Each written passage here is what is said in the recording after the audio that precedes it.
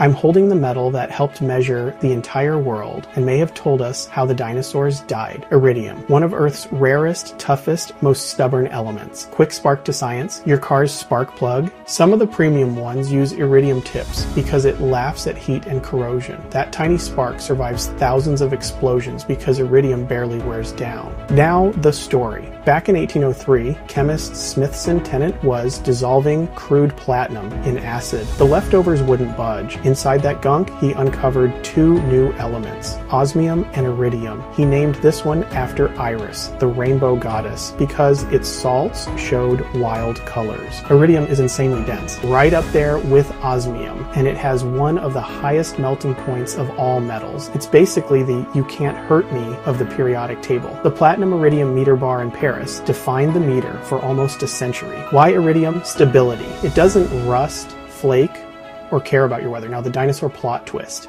In the 1980s, scientists found a global layer of clay loaded with iridium right at the geologic boundary where most dinosaurs vanish. Earth's crust almost never has that much iridium, uh, but asteroids do. That iridium spike became Exhibit A for the asteroid impact that reshaped life on Earth. Modern uses let's rapid fire spark plugs and turbine igniters, tiny durable tips that last ridiculously long, crucibles for growing super hot crystals. Think sapphire substrates for LEDs, electrical contacts and pen nibs when you need hard, never corroding points. Medical Iridium 192 is used in targeted cancer therapy, deep sea and harsh environments, sensors, and equipment that can't fail. And the satellites named Iridium, the original plan was 77 satellites, atomic number 77, so the name stuck. They even made those famous night sky flares. So, yeah, this rare, rainbow name metal helped define the meter, lights your engine, survives a volcano in a cup temperatures, and left a forensic fingerprint on a mass extinction. Not bad for something you'll almost never see. If that surprised you, hit like so the algorithm knows you're curious. Subscribe for more bite sized science that actually sticks, and drop a comment. See you for the next element in the list.